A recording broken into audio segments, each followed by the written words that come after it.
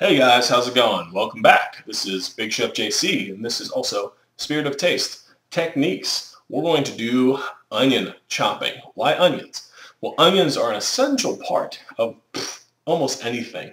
Anything you make has onions in it somehow because it's a universal spice. It's a universal taste and flavor, and it's used just about anywhere. Chives have onion flavor. Green onions, onion flavor. Onions, onion flavor. Even shallots have an onion flavor to them.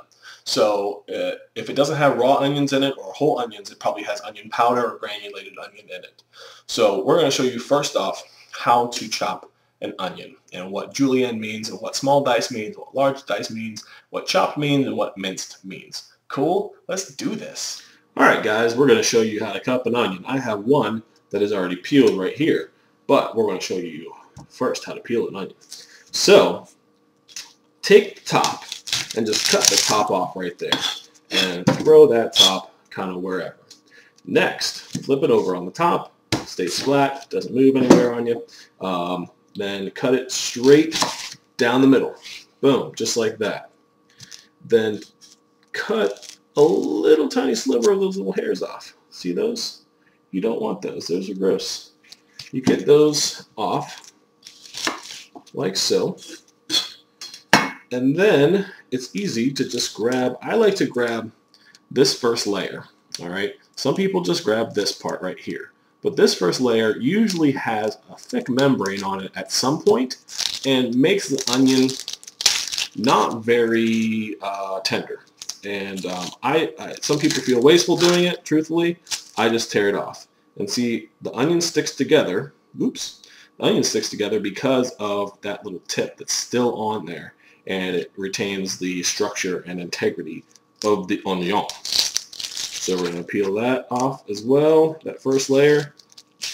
See if this is that thick membraney part. The one half of the onion was like a real layer. This part is kind of like a thick skin. So whether this part was like part of the onion, right there, uh, this part is more like a skin. So take that first layer off of the onion because that makes it a little bit uh, more desirable to eat and it doesn't like end up tasting like leather in your soup. So first off, I'm going to show you what a dice of onion is. And onions are cool and really easy to cut because they have these layers. And because they have the rings in them, then that's one layer of slicing that's already done for you. Cool? So real, real simple is that you take your knife and you follow the little lines that are across the top of the onion. So if you see those, those are also kind of markers for you. And you follow those and you cut in and you just kind of go all the way around. And you go in the circle shape and you don't quite go all the way through it you get as far as you can to this back part without going all the way through. You don't see my knife going through the other side. So just do that. And then as you come around, just keep going. This is when it gets a little hairy.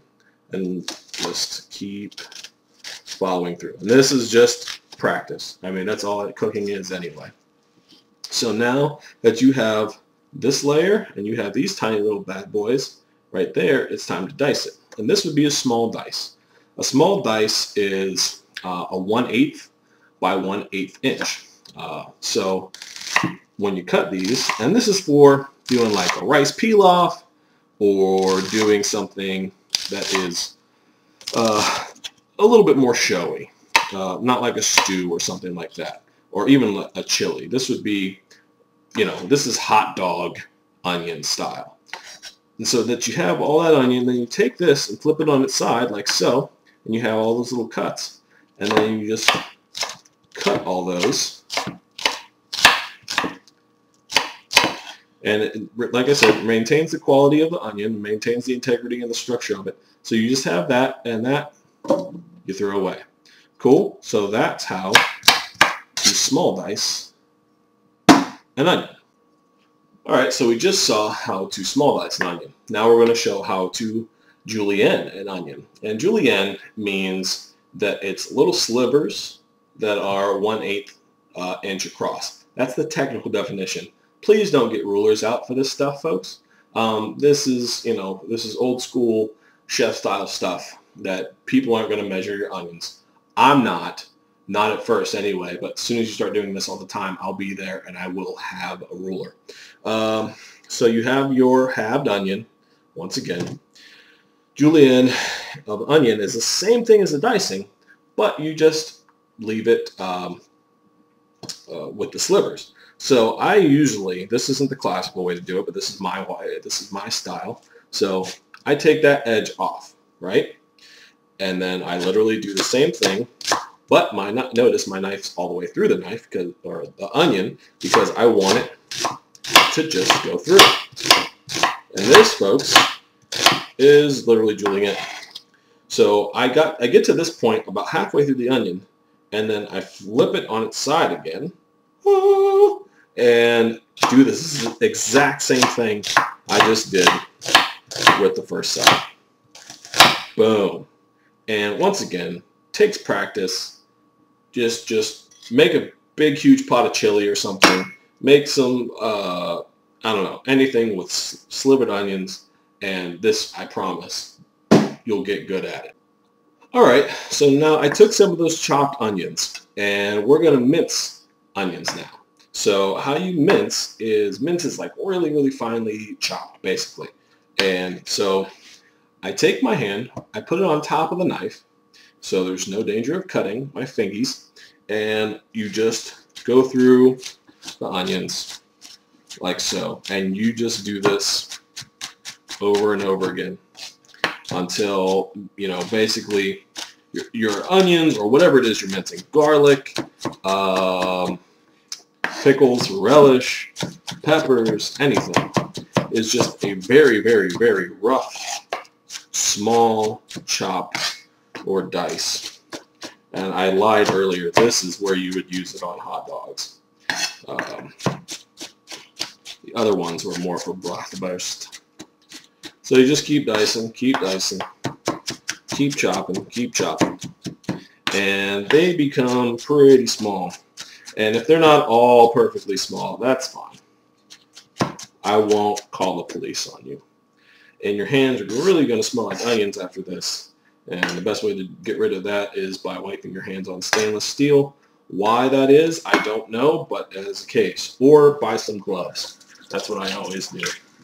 Um, I just use gloves, and that prevents the smell from getting on your hands. But that right there is minced onion. What's up? Um, we're going to show you large dice now.